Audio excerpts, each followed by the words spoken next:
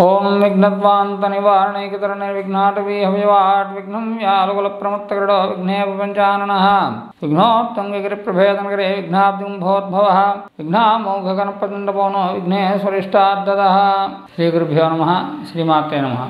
KSK home వీక్షకులకి స్వాగతం సుస్వాగతం. ఈరోజు మనం ఈ వీడియోలో జూన్ మాసంలో కన్యారాశి వారి యొక్క గోచార ఫలితాలు అనేటువంటివి ఏ విధంగా ఉన్నాయనేటువంటిది తెలుసుకుందాం. ముఖ్యంగా కన్యారాశి అనగానే ఉత్తరా నక్షత్రం రెండు మూడు నాలుగు పాదములు అలాగే హస్త నక్షత్రం ఒకటి రెండు మూడు నాలుగు పాదములు చిత్తా నక్షత్రం ఒకటి రెండు పాదములు. వీరందరూ కూడా కన్యారాశిలోకి వస్తారు. మరి ఈ కన్యారాశి జూన్ మాసం ప్రారంభ సమయానికి ఏ గ్రహాలు ఏ ఏ రాశుల్లో ఉన్నాయి అవి ఎప్పుడు మారుతున్నాయి అనేటువంటివి తెలుసుకొని తదుపరి గోచార ఫలితాలు ఎలా ఉన్నాయనేటువంటిది చూద్దాం. ముఖ్యంగా ఈ మాసం ప్రారంభ సమయానికి కన్యారాశికి ద్వితీయ రాశి అయినటువంటి తులలో కేతు సంచారం చేస్తున్నాడు. అలాగే కన్య నుండి షష్టమ రాశి శత్రుస్థానంలోని రోగస్థానంలోని శని సంచారం చేస్తున్నాడు. మరి అష్టమంలో గురుడు బుధుడు మరియు రాహువు సంచారం చేస్తున్నారు. అలాగే నవమంలో రవి సంచారం చేస్తున్నాడు. ఏకాదశంలో కుజుడు శుక్రుడు ఇద్దరు కూడా సంచారం చేస్తున్నాడు ఈ విధంగా ఉన్నటువంటి గ్రహస్థితిని బట్టి మనం ఆలోచించినట్టయితే ఈ మాసంలో మీకు అనేకమైన సమస్యల నుండి మీరు విముక్తిని పొందడం అనేటువంటి జరుగుతుంది. మరి తగినటువంటి సమాజంలో గౌరవ మర్యాదలు ఆదరణ పొందుతారు. స్నేహితులు బంధువుల యొక్క సహాయ సహకారాలు మీకు లభిస్తాయి. ఆర్థిక సమస్యల నుండి బయటపడేటువంటి అవకాశం మరియు లాభదాయకమైనటువంటి వృత్తి వ్యాపారాలు కొనసాగుతాయి. ఇంకా చిన్న చిన్న సమస్యలు ఉన్నప్పటికీ కూడా ఇబ్బంది పడేటువంటి అవకాశం లేదు. ముఖ్యంగా మీ ఆరోగ్య పరిస్థితిని మనం ఈ జన్మరాశి నుండి తెలుసుకున్నట్టయితే రాష్ట్రాధిపతి బుధుడు అష్టమంలో ఉన్నాడు. అందున రాహు మరియు గురుతో కలిసి ఉన్నాడు. ఇక్కడ అష్టమంలోని మీ యొక్క జన్మరాశ్యాధిపతి అందులోని క్యారీర్కి అధిపతి అయినటువంటి బుధుడు ఉండడం ఆ బుధుడే కొద్దిగా ఇబ్బందికారకమైనటువంటి అయితే బుధుడు జూన్ ఎనిమిదవ తారీఖు నాటికి అష్టమం నుండి నవమంలోకి భాగ్యంలోకి రావడం అనేటువంటిది జరుగుతుంది. కాబట్టి జూన్ ఎనిమిదో తారీఖు వరకు కూడా ఆరోగ్య విషయంలో జాగ్రత్త తీసుకోవాలి. ఎందుకంటే స్కిన్కి సంబంధించి అలాగే ఎలర్జీ కాఫ్ కోల్డ్ అలాగే బయట తినేటువంటి ఫాస్ట్ ఫుడ్ వల్ల ఇవన్నీ కూడా ఇబ్బందికారకంగానే ఉంటుంది. జూన్ ఎనిమిది తర్వాత ఇమ్యూనిటీ సిస్టమ్ అనేటువంటి బాగా డెవలప్ ఇమ్యూనిటీ బలపడేటువంటి అవకాశం ఎక్కువగా ఉంది. కాబట్టి ఆరోగ్య విషయంలోని జూన్ మాసంలో అంతగా భయపడాల్సినటువంటి ఆవశ్యకత అయితే లేదు. మరి విద్యా విషయాన్ని చూసుకున్నట్టయితే విద్యాస్థానానికి సంబంధించిన పంచమాధిపతి అయినటువంటి వాడు శని.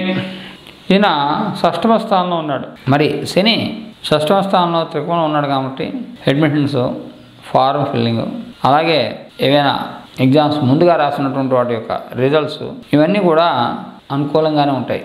షష్టమ స్థానం అయినప్పటికీ కూడా ఇక్కడ శని పంచమాధిపతి మూల త్రికోణంలో ఉన్నాడు కాబట్టి. అయితే ఎక్కువగా డౌట్స్ ఉత్పన్నమవుతూ ఉంటాయి. డౌట్స్ ఎక్కువగా క్రియేట్ చేస్తుంటాడు. అంతగా భయపడాల్సినటువంటి అవసరం అయితే లేదు. మరి వైవాహిక జీవితాన్ని చూసుకున్నట్టయితే సింధుహతిక రాజు ఆయన గురుడు సప్తమాధిపతి. అష్టమ స్థానంలో రాహుతో కలిపి ఉన్నాడు. ఇక్కడ గురుజెండాల యోగం నడుస్తున్నది.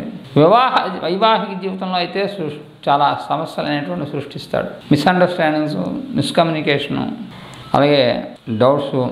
కాబట్టి life partner disagree with you. Agree అవ్వకుండా ఉండడం అనేటువంటి మీరు ఏ సమస్య? ఏది చెప్తే దానికి వ్యతిరేకంగా నడుస్తుండడం. అలాగే లైఫ్ పార్ట్నర్ హెల్త్ కూడా అంత బాగోకపోవడం.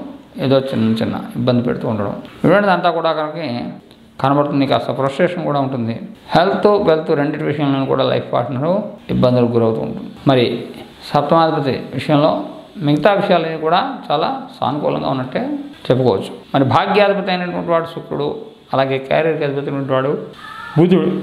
భాగ్యాధిపతి మరియు రాజ్యాధిపతి ఇద్దరు కూడా మిత్రులై ఉన్నారు.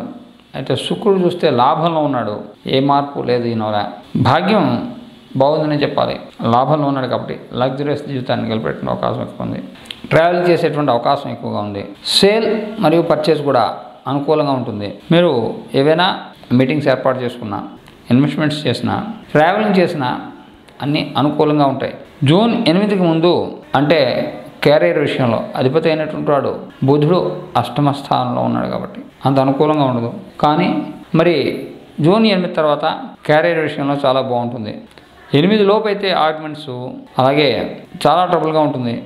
ప్రైవేట్ సెక్టర్లో కానీ గవర్నమెంట్ సెక్టర్లో కానీ పనిచేసేటువంటి వాళ్ళకి జూన్ ఎనిమిది తర్వాత భాగ్యంలోకి వస్తాడు కాబట్టి బుధుడు మీకు గవర్నమెంట్ సెక్టర్ ఉండి ప్రైవేట్ సెక్టర్ అయినప్పుడు కూడా నేమ్ అండ్ ఫేమ్ అనేటువంటి ఎర్న్ చేసుకోవడానికి అవకాశం ఉంటుంది. పని అయినటువంటి వాళ్ళకి వర్క్ దొరుకుతుంది ఖచ్చితంగాను. బిజినెస్ బాగా ఉంటుంది. అలాగే పార్ట్నర్స్ విషయంలో మాత్రం చాలా జాగ్రత్తగా ఉండాలి. ఎందుకంటే ఇక్కడ రాహుతో కలిసి ఉన్నాడు కాబట్టి ఇక్కడ కొద్దిగా ఇబ్బందులు క్రియేట్ చేస్తాడు. డైలీ ఇన్కమ్ వాళ్ళకి కూడా కాస్త అప్ డౌన్స్ అనేటువంటివి ఉంటాయి బిజినెస్లోని.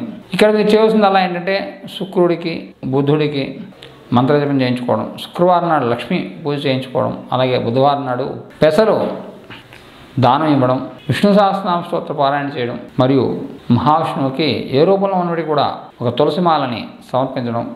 ఇలా చేసినట్టయితే మీకు కెరీర్ విషయంలోని విద్యా విషయంలోని ఆరోగ్య విషయంలోని అనుకూలంగా ఉండి ఈ జూన్ మాసం మీరు ఆయుర ఆరోగ్య ఆయుర్భాగ్య ఐశ్వర్యాలతో ఉండాలని ఆశిస్తూ సర్వే జనా సుగుణోభవంతు సమస్త సన్మంగళాన్ని జయంతు.